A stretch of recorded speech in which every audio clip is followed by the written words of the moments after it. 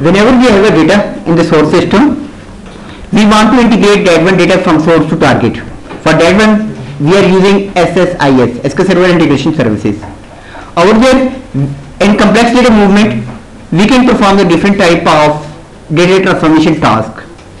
We have to transform data in different forms. That we have a data in source system we can take the aggregate of that one data we can merge that one data we can split that data or even we can perform the different type of aggregate merging pivoting and things like that can be performed in the data transformation task so to perform complex data movement or data transformation task we have to use the basic concept of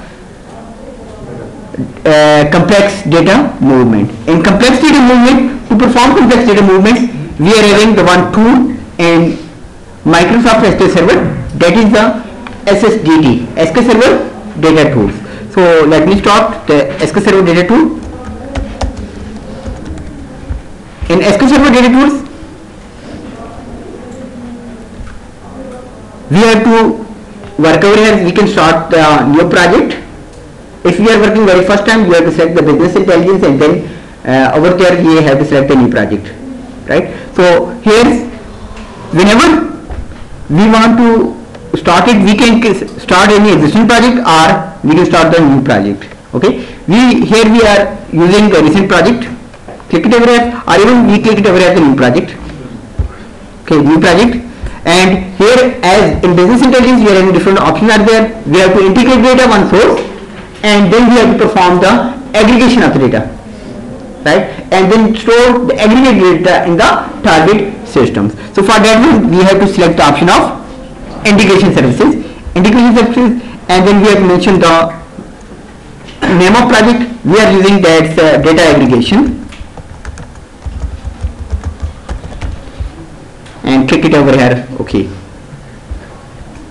Whenever we are starting it over here one package will be introduced over here. Right? That is having the data type IDTSX if you want to add the new package right click it over here new package. All we are having existing package you can work it over here.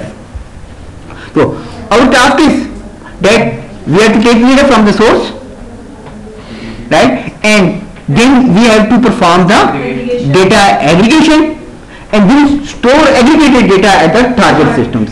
So mean first transform the data, calculate the aggregated values and then store the aggregated value in the target system. So first of all we are having the data flow task.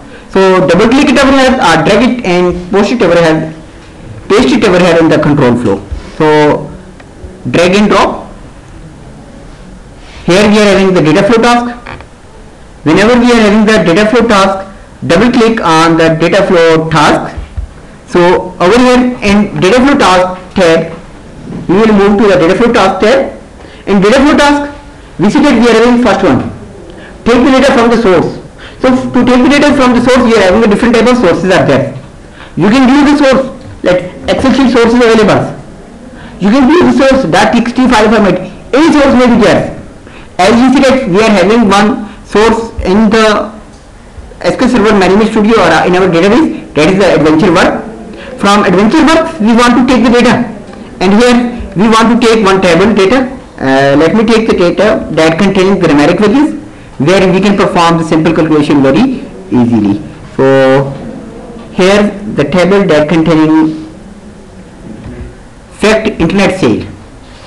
This one table containing the numeric values right? On this one table we want to perform the aggregation over there right? Here we are in product key order key uh, other values are available over here like unit price.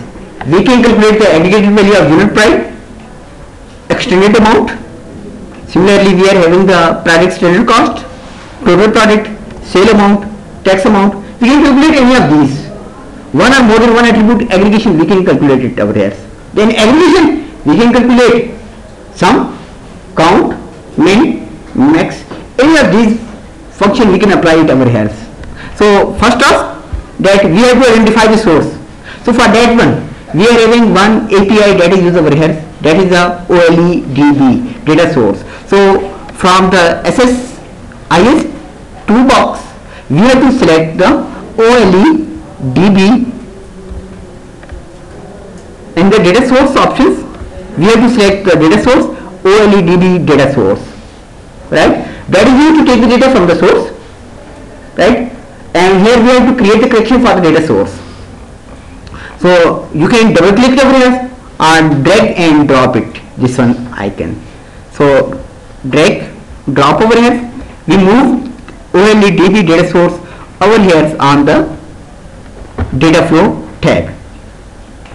Now whenever we move only OLEDB data source for that one we have to mention the connection managers.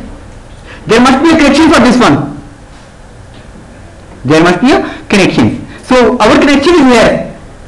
We see that we are having the database here. The main database for this one source adventure work DW 2012 that is the data source. So for that one right click edit. Here we are having connection manager. Click it over here. No connection manager is available. For that one we have to create the new connection managers. So the new connection managers that I have existent uh, connection are available. I want to delete all of those and then create the new also now here we have to use it over at the new and new we are having the native client OLEDB SQL Server native client 1.0 and here we are having server name. If system is not directly extracting the value of the server name that is not extracting that is not available related to the, our systems. So what we have to do? Over here check it out what is your server names? Just uh, go over there connect. This one is the server names. You can check the server name or even your system names? That is your server names. So desktop 06FLU4P that is the server name of mine system. You may have any other. So copy this one.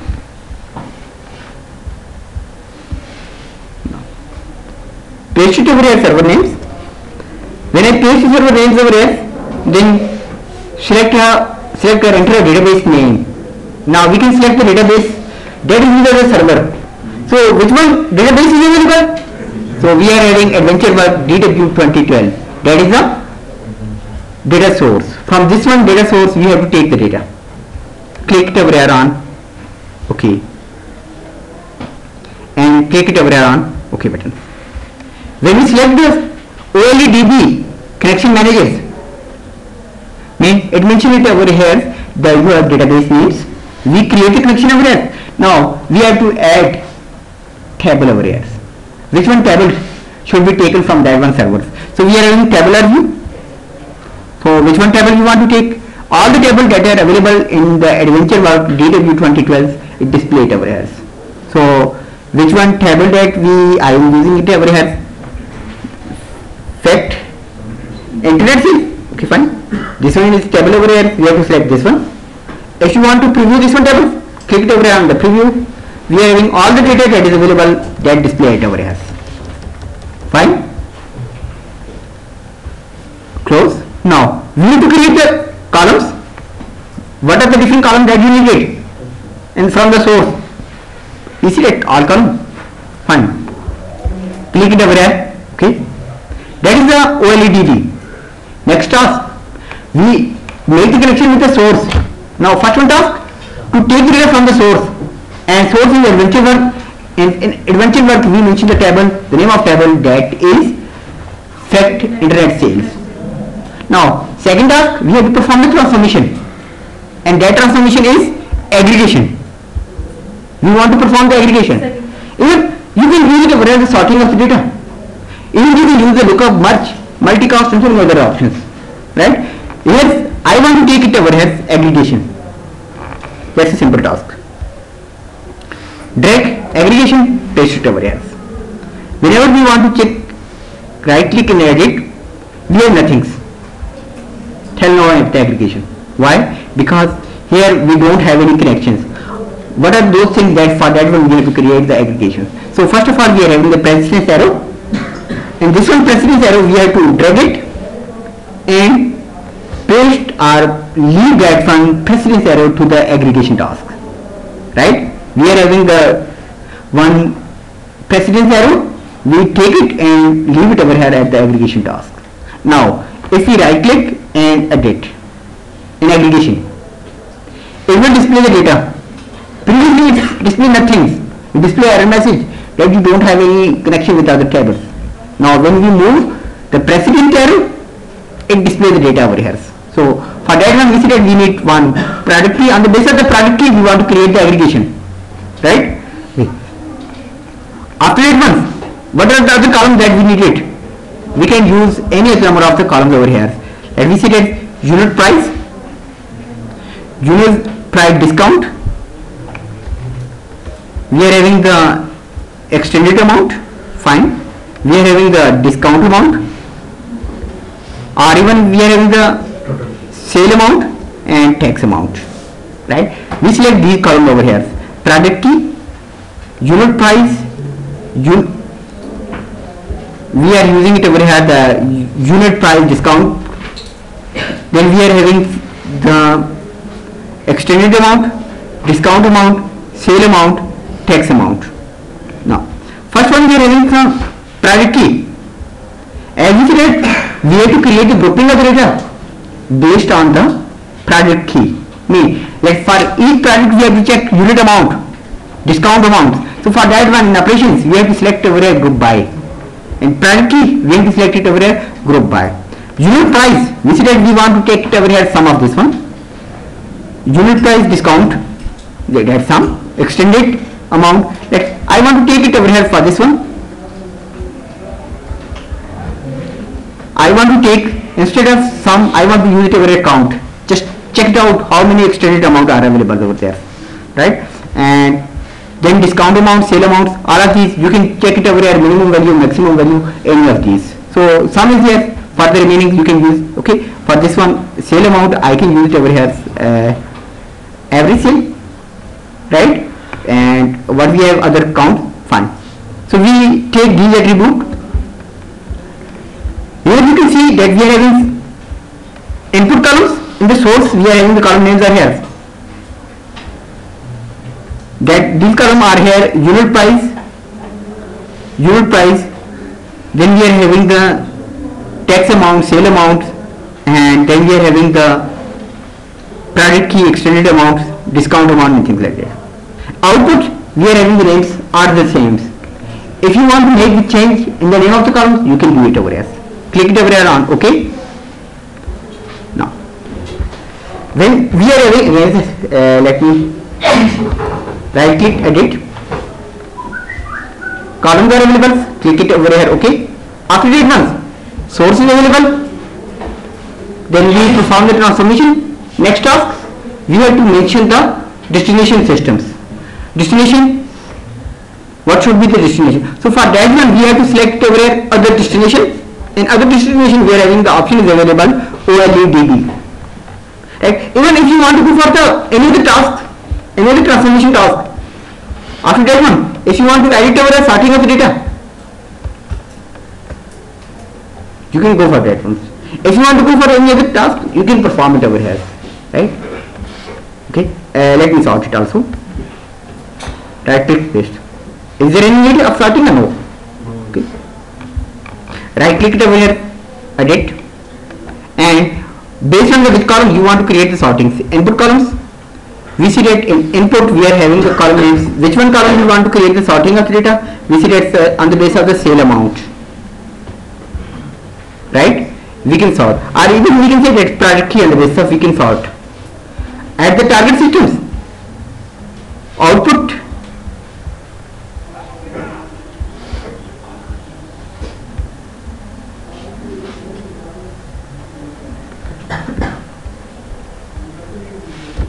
right click edit.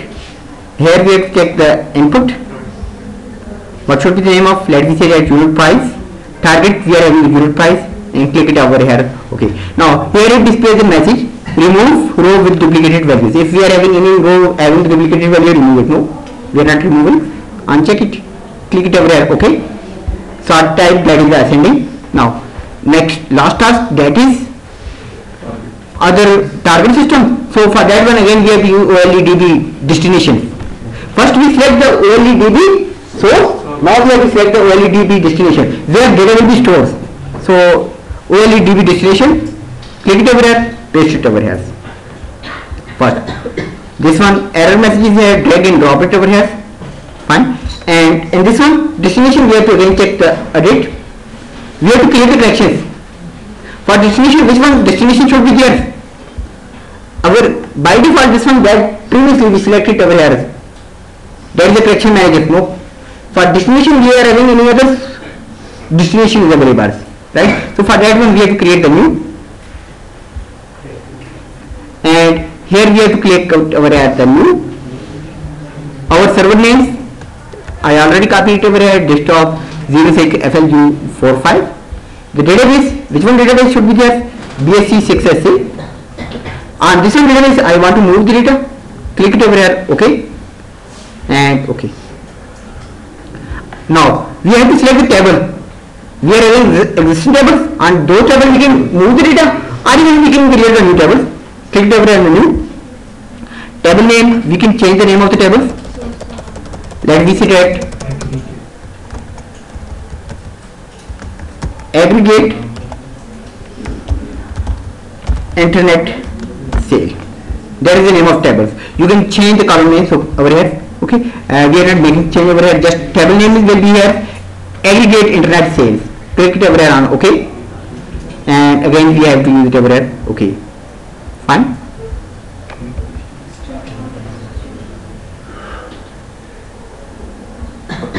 Okay now we have to mapping. Mapping of this and mappings from which one column data will be moved source to target. So we see that here we are having source are here unit price discount.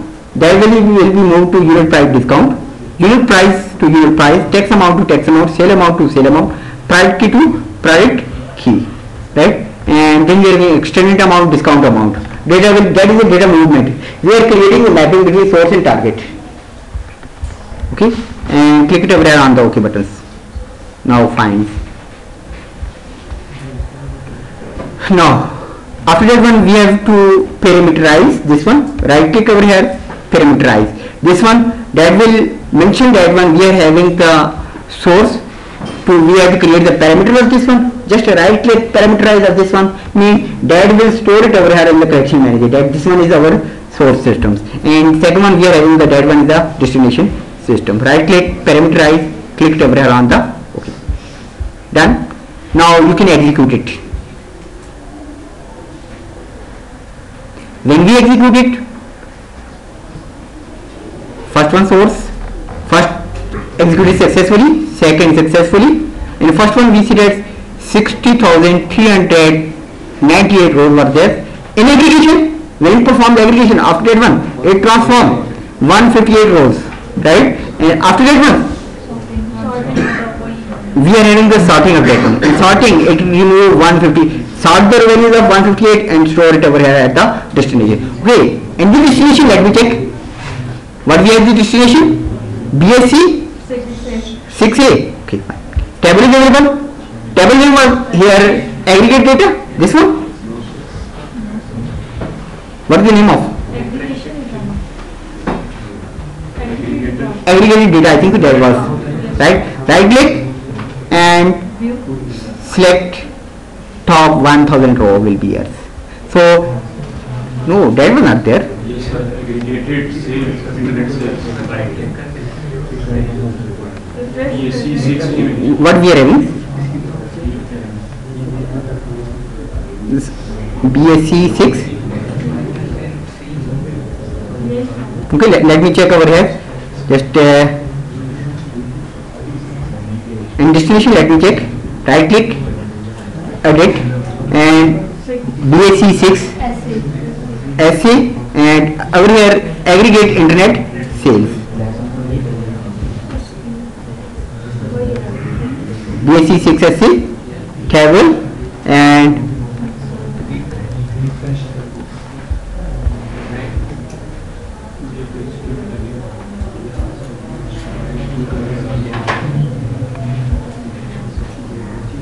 okay uh, this one aggregate fact internet sales so right click over here this one it displayed over here unit price here zero unit price aggregate is here tax amount sale amount, product key is here, then we are having extended amount and so on.